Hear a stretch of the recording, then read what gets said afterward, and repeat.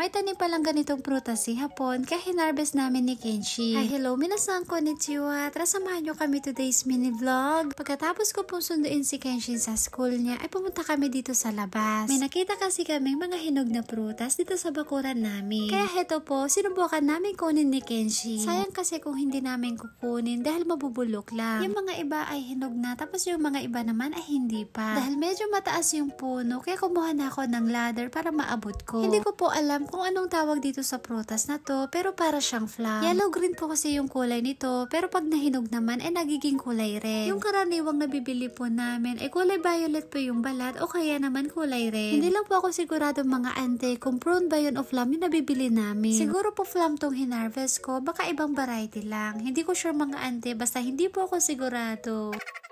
Eto na nga po, yung iba nakuha namin ng anak ko. May mga ibang hinog pa dun sa taas, kaso hindi ko na po maabot. Hindi ko rin alam kung hinog na ba itong mga pinagkukuha ko.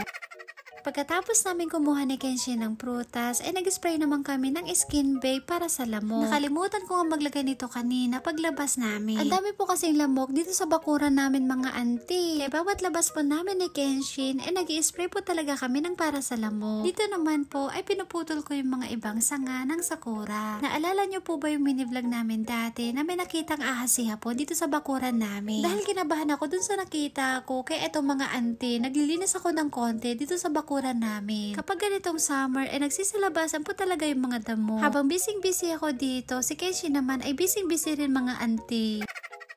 Kapag nandito kami sa labas, ito po palagi yung trabaho ng anak ko, ang maghanap ng insekto. Kada bungkal ko po ay sunod siya ng sunod sa akin mga auntie. Basta mapakatawa talaga ating anak ko, no ana-ana lang tibirbirukin na. Pagkatapos ko magputol ng sakura, ay nagdamo naman ako dito sa likod namin. Konti lang po yung damo na pupunutin ko para makita ko lang yung daan. Actually po mga auntie, napakasarap po magdamo kaso nakakapagod lang. Masakit sa likod tapos masakit pa sa kamay. Gusto ko sana gumamit ng grass cutter kaso konti lang naman yung dadamuhin ko. Sobrang bilis nga rin humaba ng mga damo na to kasi laging umuulan dito sa amin. Pagkatapos ko magdamo tapos dalawang linggo lang ay marami na naman. Wala rin naman ako magagawa kasi hindi ko mapipigilan yung yung paghaba at pagdami nila. Kaya ang ginagawa ko ay nagdadamo na lang ako ng pakonti-konti. Maraming gamit nga rin si Hapon dito sa likod namin. Yung iba po ay nakatambak lang. Minsan nga ay natatakot nga ako maglinis dito kasi feeling ko baka may ahas. Takot talaga ako sa ahas kahit maliit man yan. Habang nagdadamo ako dito ay nilalakasan ko na lang yung loob ko. Basta pakiramdam ko ay nandyan lang sila sa tabi-tabi.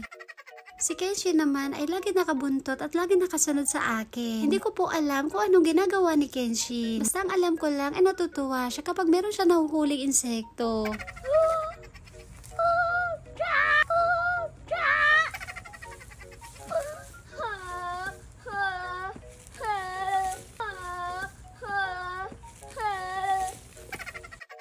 O, diba? Tuwang-tuwa si Kenshin kapag meron siya nakikita at nahuhuling insekto. Sa sobrang tuwa niya ay napapakanta at napapasayaw pa siya. Buti na lang ay hindi siya kinakagat ng mga nahuhuli niya. Yung laruan niya na palagi niyang hawak ay yun yung ginagamit niya sa panghuli ng insekto. Lagi ko nga siya sinasabihan na wag siya basta-basta hahawak kapag hindi niya alam. Good boy naman po si Kenshin at sinusunod naman ako. May nagtanong nga po pala sa akin kung napapalo ko din daw ba si Kenshin kapag malikot siya. Hindi ko po maiwasan minsan kapag sobrang likot niya. Hindi naman yung tipong sobrang lakas mga ante, yung papagalitan ko lang siya. Sa aming dalawa ni Hapon, magkaiba kami ng pagdidisiplina kay Kenshin. Si Hapon ko po kapag nagalit siya ay hindi siya namamalo. Ako po kasi kapag sobrang likot at hindi na siya nakikinig sa akin ay doon ko siya napapagalitan. San kapag meron siya nagawa na hindi maganda ay kinakausap ko siya ng mahinahon. Sinasabi ko sa kanya yung ginagawa niya na hindi maganda. Pagkatapos ko siya mapagalitan at mapagsabihan ay nagsusorry naman siya sa akin. Alam niyo po, sobrang nakakatuwa si Kenshin. Minsan kasi kapag galit ako ay niyayakap at kinikis niya na ako para hindi na daw ako magalit. Kaya ngayon ay natutunan akong disiplinahin si Kenshin na hindi ko siya pinapalo. So, yun na mga auntie, hindi naman po ako perfectong nanay. Nagagalit din naman ako. Pagkatapos ko magdamo at magtanim ng gulay sa likod, ay nandito naman ako sa harap namin. May konting gulay pa ako dito, kaya hinarvest ko muna. May nabasa nga pala ako sa comment section. Ang sabi niya, bakit ko daw kinukuha yung bulaklak ng kalabasa? Etong bulaklak po na kinukuha ko ay lalaki po ito. Yung may kalabasa po ay babae naman yun. Para magets nyo po, ay papakita ko po dito sa screen yung babae at lalaking kalabasa. So ayan po, magkaiba po yung lalaki at yung babaeng kalabasa. Yung lalaking bulaklak ay pwede nating kunin at ulamin. Samantalang yung babae naman ay hindi natin pwedeng kunin kasi nga nagkakaroon siya ng bunga. At ito na nga po yung mga na-harvest kong mga gulay. Ito mga kamatis, ang gaganda ng kulay tapos malalaki pa. Nakakatuwa talaga kapag meron tayong mga sariling tanim. Katapos namin dun sa labas ay pumasok na kami dito sa loob. Agad ko na nga rin hinugasan yung kamay at paa ni Kenshi. Huhugasan ko nga lang sana siya ng kamay at paa niya kaso nabasa yung short niya. Kaya ang ending ay pinaliguan ko na siya mga ante. And fast forward na nga po, pagkatapos ko mabihisan si Kenshin, ay hinugasan ko naman itong hinarbas namin kanina. Dahil napagod kami kanina dun sa labas, kaya heto, magmimerienda kami ng anak ko. So naman po, ay naghati na ako ng pakwan. Yung hinarbas naming prutas kanina, ay titikman natin kung ano yung lasa. Hindi ko lang alam kung hinog na pa itong pinagkukuha ko.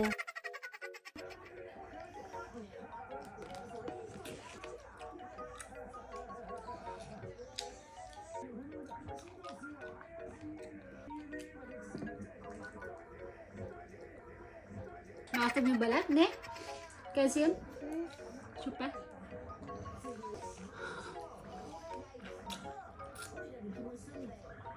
Masarap naman po tong prutas na to, kaso maasim lang. Kapag kakain tayo nito, kailangan may kasamang asin. Tapos may buto nga rin po pala ito sa gitna. Si Kenshin naman po, ay sinubukan nga rin niyang kainin. Akala ko po nung una ay ayaw niya, pero nakakatuwa mga ante kasi kinain naman niya. Yung balat nga pala nito ay maasim. O ba diba, at least kahit papano, ay minamerienda kami ng anak ko. So lang po, at ito na po natatapos ang aming mini vlog. Maraming maraming salamat po. Thank you for watching. Sayonara and... 자, Kadang tangan cabi apa? Barang.